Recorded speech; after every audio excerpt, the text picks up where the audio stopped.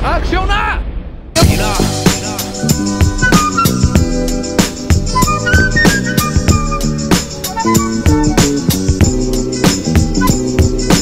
Jæja, þá erum við á leiðinni í hveragerði.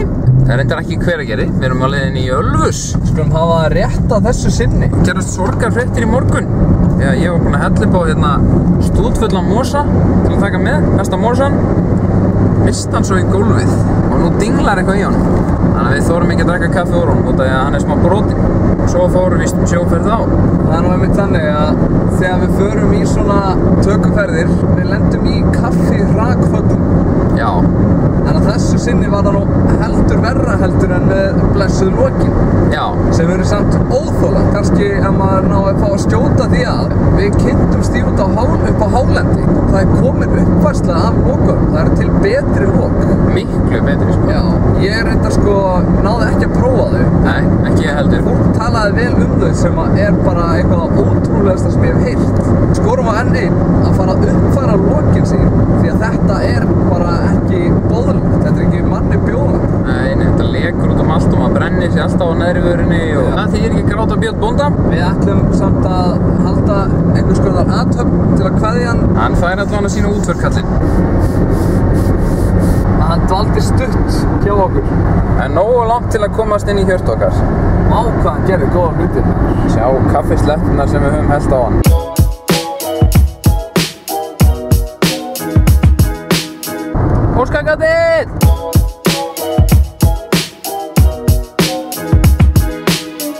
Erum stattir á Ölfusi, nánar tiltekið eh, í bækistöðum Eldhesta. Já, Og uh, okkur þykir það bara nokkuð skemmtilegt. skotin, eru þau að fara þarna? Ha? Við erum semst að mynda hestaferðir, eins og ég var að segja þegar hann Þorsteinn Kolla Jóhansson greip fram í fyrir mér.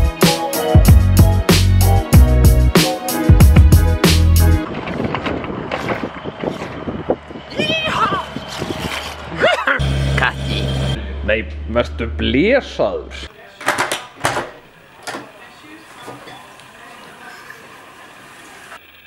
Öður.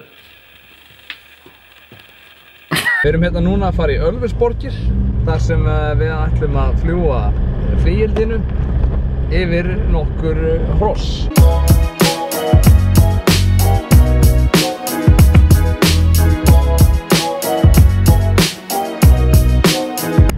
Er kannski gaman frá því að segja að við erum aftur komnir í vinnubílinn okkar sem að við fáum að nota alltaf hérna. Gamla Jótan. Oh, the force is strong in this one, ja. Legjum bara hér. Ja. Ja, das ist sehr gut, Jota. Oh, Jota.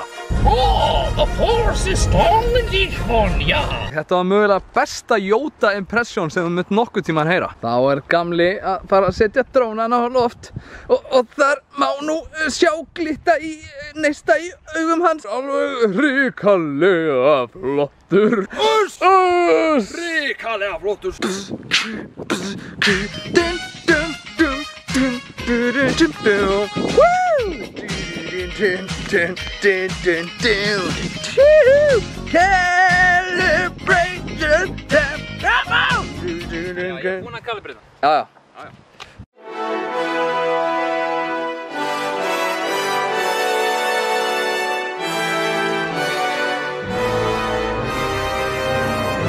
Oh, the force is strong in this one. Ja. Hvað segir ég að fara að drónast annar staðar núna? Já, þetta er nú ekki drónalegt. Það er nú ekki drónulegt veðrið í dag. Ah.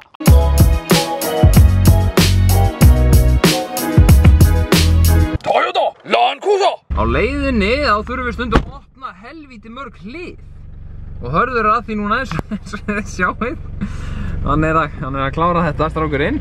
Arðu þetta, dríða sig. Það er skemmtileg saga að segja frá þessum hliðum. Eitt meðlumur Abba kom einu sinni Eitt meðlumur Abba kom einu sinni í ferð, eins og ég var að reyna að segja að það hörður hérna brjálaðist inn í bílinn. Og uh, hann sagði, This is the tour of the thousand gates. Þetta er saga sem að við lærðum bara hérna núna í dag. Maður getur nú alltaf kyrt um gödunar orðið fyrir helvitist túrastum. Hvaðan eru þessir? Mittir stakkóðsbyggjurnar. Hvað anskotan þeir eru að gera hér á mínu vegi? Hörður er hér utan á bílnum að fá far. Gott að við erum ekki með laust pláss inn í bílnum. Það þarf ykkur að vera á vaktinni. Sælir hestar, lesaðir.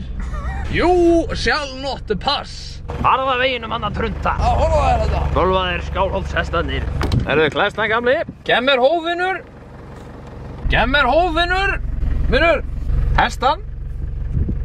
Djöfull eru menn feimnir hérna í sveitinni maður. Hvernig lætur það þið líða, Þorsteinn, að geta stjórna hestunum svo? Manst eftir hérna, það var eitthvað mynd, svona whisperer. Dog Whisperer. Nei, ég man ekki hvað hann var að kvísla, eitthvað. En, en mér líður eins og The Horse Whisperer. Já, sjaldan fellur eplið nú langt frá Edinborg. Að